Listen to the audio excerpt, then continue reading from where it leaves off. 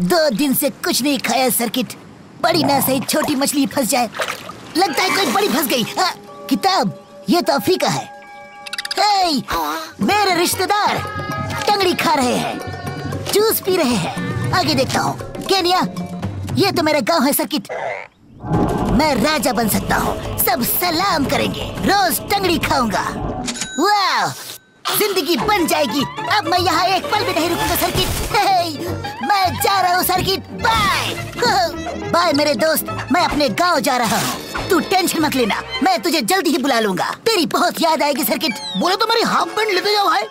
Oh as a यादगार तेरी दोस्ती को सलाम। बाय मेरे दोस्त। बाय बाय बाय टाइम कम है। ये कहाँ जा रहा है? तू यही सर छड़ को